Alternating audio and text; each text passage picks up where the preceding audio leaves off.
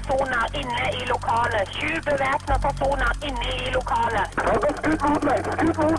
Når er det mest penger på stedet, ikke sant? Det velkjente Nokas-ranet. Bussjåføren blir vitne til at en mørk bil kjører inn foran sideinngangen. Hvor tror du det har blitt av de over 50 millioner kronene? Står det at det var rett ved det hotellet? Sitter og er grunnen til at de sakene oppstår. Skyter raneren det dødelige skuddet mot Klunglands kommandobil. Hallo, det, her, det må være her. Dette er de to ranerne Haaland fikk øye på.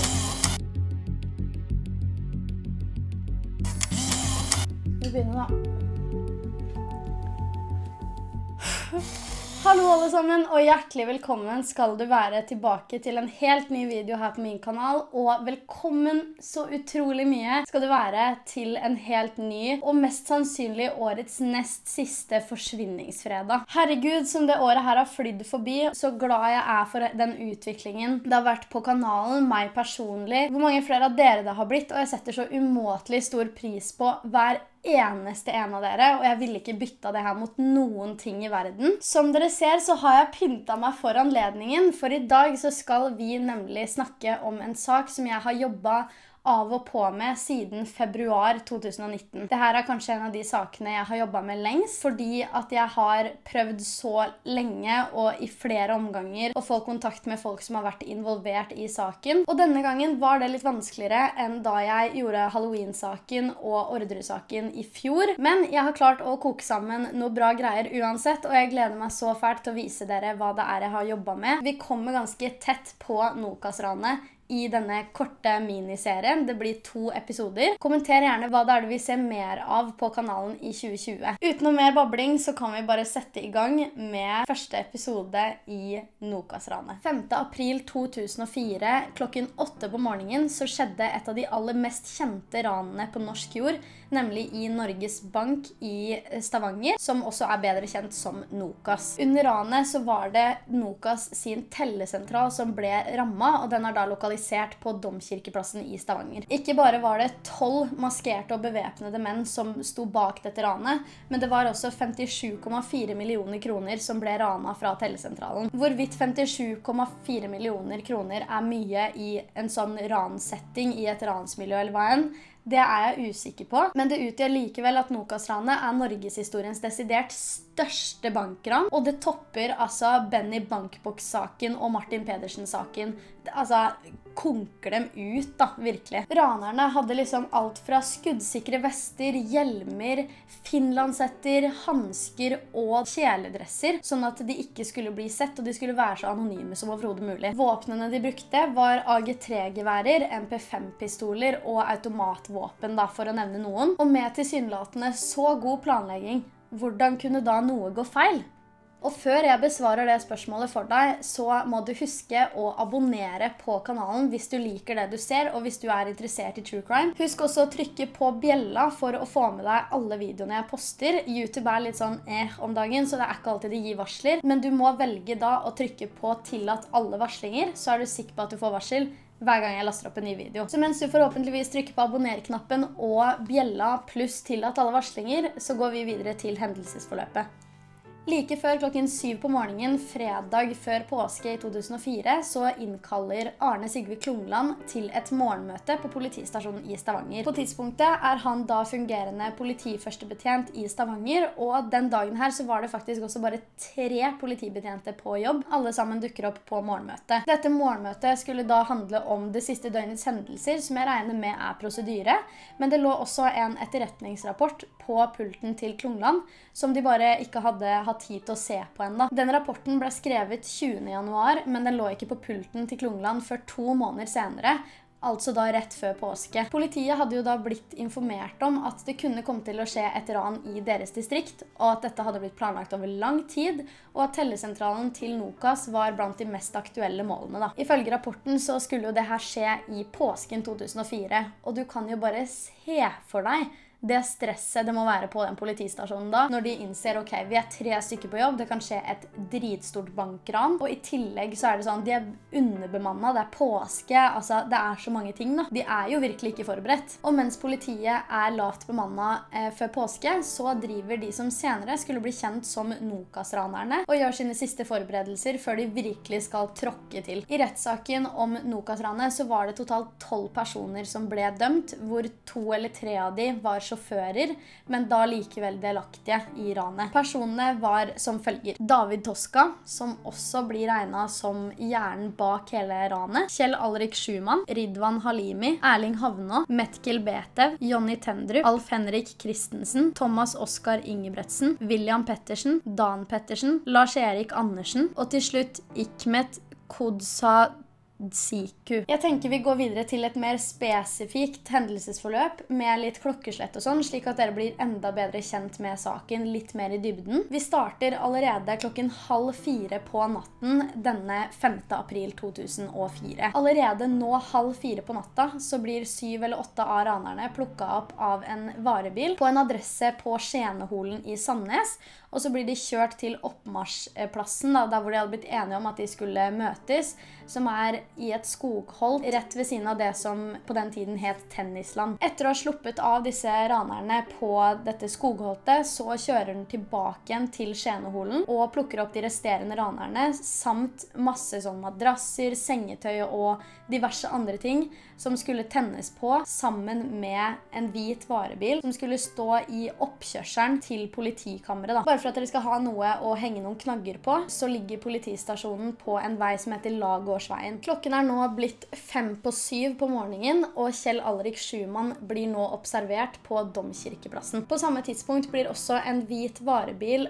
observert på Lagårdsveien, ikke veldig langt fra politistasjonen. Klokka blir 07.00, og en Ford Expedition-bil med påsatt registreringsnummer BP 50471 passerer da et overvåkningskamera på Lagårdsveien, på samme vei som politistasjonen ligger. Tre sekunder senere så passerer den hvite lastebilen. Det tar ca. 16 minutter før den samme Ford Expedition-bilen passerer samme overvåkningskamera, bare andre veien, altså ut av sentrum denne gangen. Den tredje ransbilen, som er en sølvgrå Saab, den passerer samme overvåkningskamera ca. 13 minutter senere. Klokka 07.40 så er alle ranerne samla på andre siden av veien for dette overvåkningskameraet. Og nå er de klare for tokt, da, for å si det på en enkel måte. De er kledd i mørkt, de har på finlandshetter og alt mulig. Og de er også bevæpna. Klokka 8.00 så setter Jonny Tendrup den hvite lastebilen med masse brennbart inni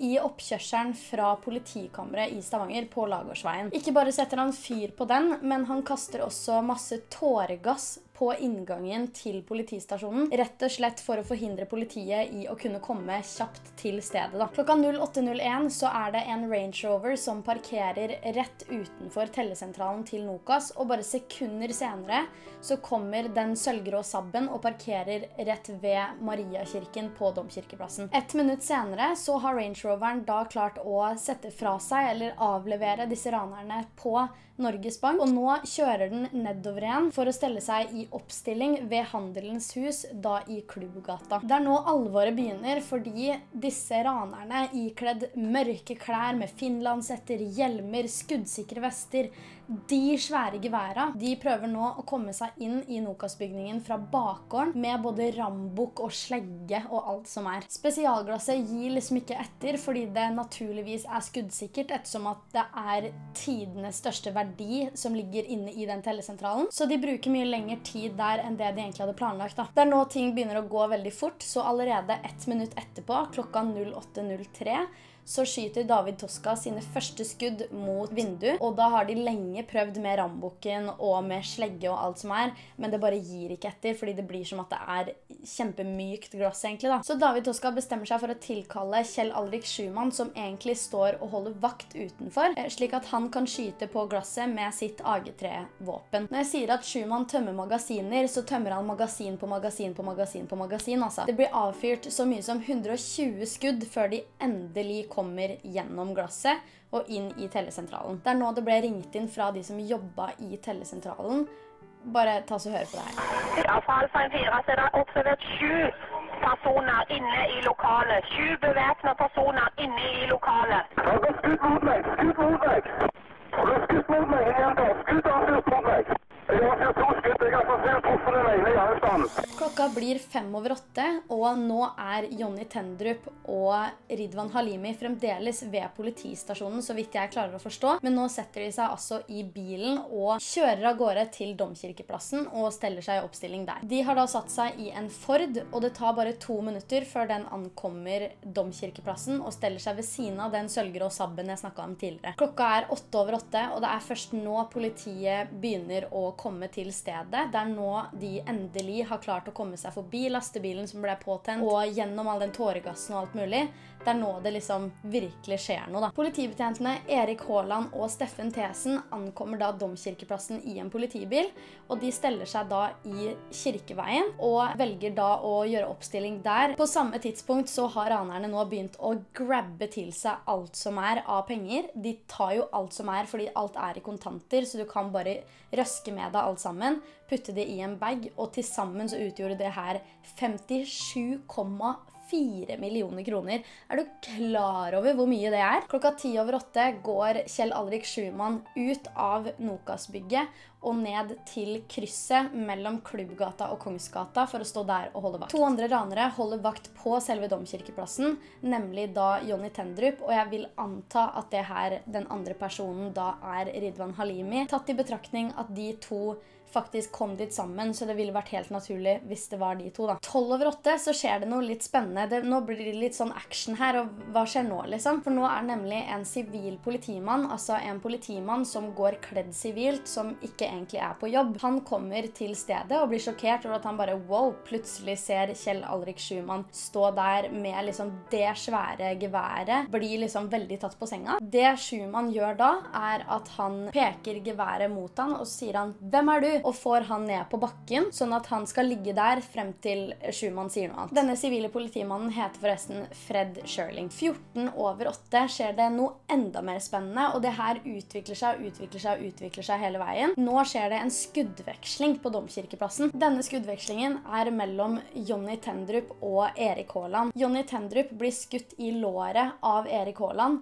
som forresten avfyrte sånn 17 skudd eller noe i den skuddvekslinga her, så det holdt det litt på da, en stund. Kvart over åtte blir en tilfeldig syklist lagt i bakken av den andre raneren som sto sammen med Jonny Tendrup under skuddvekslingen. da. Han blir lagt i bakken og tror egentlig hele tiden at det er politifolk som har lagt han i bakken, fordi de hadde jo på en måte uniform på seg, mens han politibetjente var sivil. Den syklisten her skjønner ikke at det er faktiske ranspersoner, kriminelle personer som har lagt han i bakken før i etterkant, som er egentlig ganske sykt. Klokka blir 17 over 8, og som jeg fortalte dere, så sto jo Kjell Adrik Schumann vakt i krysset mellom Klubbgata og Kongsgata. Mens han står der med våpenet sitt, så streifer han over på venstresiden og legger da merke til en kommandobil, altså en politibil av ganske stor størrelse. da. Inni denne bilen sitter politiførstebetjent Arne Sigve Klungland og egentlig bare observerer, forteller, altså snakker med dem på sambandet, hører hva som skjer og blir oppdatert, basically. da. Så fort Kjell Alrik Schumann legger merke til denne politibilen, så skyter han i retning politibilen. Jeg vil egentlig tro at tanken først var å skyte dekka, liksom å punktere bilen, slik at han uansett bare kunne stå der og ikke kjøre hvis det skulle være noe. Samtidig så veit jeg ikke, liksom. Uansett så prøver Arne Sigve Klungland å rygge bilen eh, bakover, slik at han ikke blir skutt selv og han bare går rett i beredskap med en gang, rygger så mye han kan. Men han treffer på en buss, eller han møter på en buss som han ser i eh, speilet, da. Så han kan ikke kjøre bakover mer. Så plutselig blir Arne Sigve Klungland skutt i hodet av disse skuddene og dør kort tid etterpå. På sambandet til politiet så hadde visstnok eh, Fred Sherling sagt at han klarte å komme seg unna idet Schumann skulle lade om geværet sitt da, for å skyte mer på denne politibilen. Klokka 08.19 så drar alle ranerne fra Domkirkeplassen og fra tellesentralen, fordi nå er de ferdig med hele oppgjøret sitt, eller med hele ranet. Klokka 08.19 er ranerne ferdig. De sier seg ferdig nå, og de rømmer fra stedet. Hiver seg i biler. En Ford, en Saab og denne Range Roveren. Disse ranerne og bilene er da på vei til en trafostasjon ved Sørmarka, som ligger da sørvest for Stavanger sentrum. Og når de kommer dit, så skal de da tenne på alle de tre bilene de brukte nede i sentrum på Domkirkeplassen. Og så hiver de seg i noen helt andre biler og bare kjører av gårde, og etterpå har man liksom ikke sett de på en måte. For noen måneder tilbake så dro jeg og Christian, som er min beste, beste, beste venn, vi dro til Stavanger fordi at vi hadde lyst til å sjekke ut hvordan det var der. Vi hadde lyst til å filme litt til den serien her.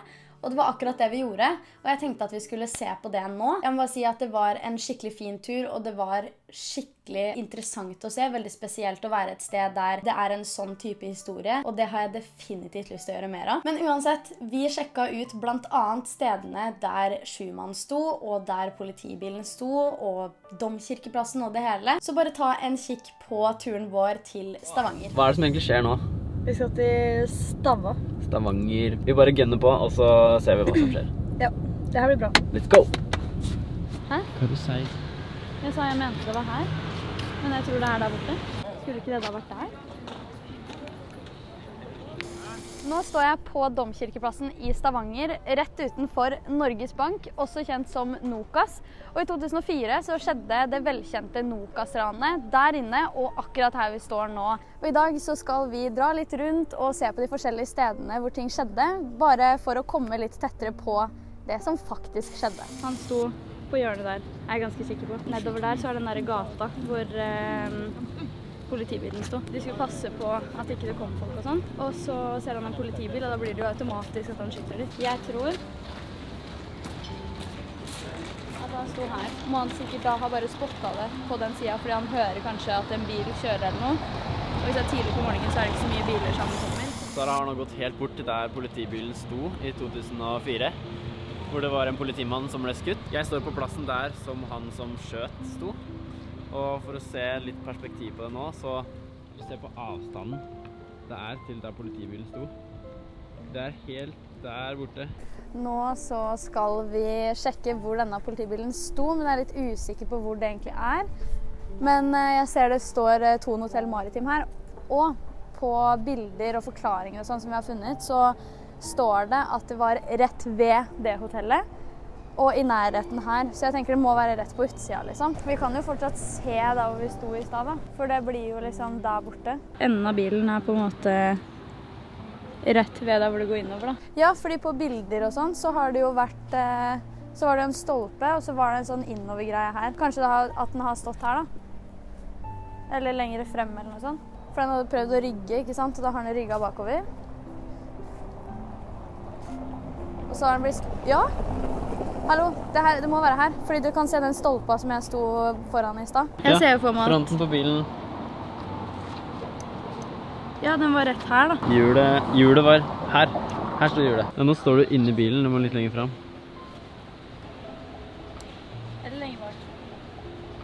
Vi har konkludert med at eh, jeg tror det er her den bilen må ha stått. Det jeg syns er kult, er at vi nå har fått muligheten til å faktisk komme og besøke på en måte de stedene ting faktisk har skjedd. Men nå tenker jeg at vi skal ture hjemover igjen. Gruppa som sto bak Nokas-ranet, er overhodet ikke ukjent for politiet i det hele tatt. Og det var det heller ikke på den tiden. I lang tid hadde politispanerne søkt litt rundt, vært veldig involvert i det som var et bindende ransmiljø fra 80-90-tallet og til tidlig 2000. Man fikk høre om et Tveita-miljø, som var en Tveita-gjeng som besto av masse, masse kriminelle folk som ble oppretta i 1985. Jeg har vært så heldig at jeg har fått lov til å snakke med tidligere politispaner Jonny Brenna, som var involvert med Tveita-miljøet, men som også hadde en involvering i Nokas-ranet og var med på pågripelsen av Kjell Alrik Schumann. Han har fortalt meg så sinnssykt mye kule, interessante, spennende og virkelig sånn hæ ting. Men det får dere se i neste episode av Nokas-ranet. Tror du det er noen av disse ranerne som ville gjort dette her igjen? Overhodet ikke ukjent for politiet i det hele tatt. Og det skjedde. Mm. Og det var det vi frykta.